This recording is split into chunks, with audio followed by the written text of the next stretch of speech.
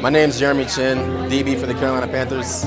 We're here at the first ever, you know, Hearts for the Homeless reception hosted by the Jeremy Chinn Foundation. Uh, super excited, great turnout, uh, raised a lot of money, raised a lot of awareness. You know, all, all these proceeds will go towards those dealing with homelessness.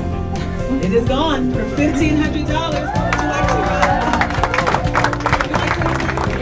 It, it, came full circle to me uh, last year when I lost my aunt to homelessness. She, she's someone who dealt with homelessness, you know, had had kids, you know, lost custody of her children just due to her struggles, you know. So, you know, I feel like now, you know, with the, the platform, it's my responsibility to, to raise awareness and really humanize the people that, you know, we may see on the street that are dealing with homelessness.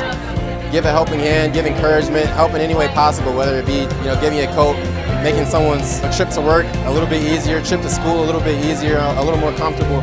You know, it can mean a lot for their future.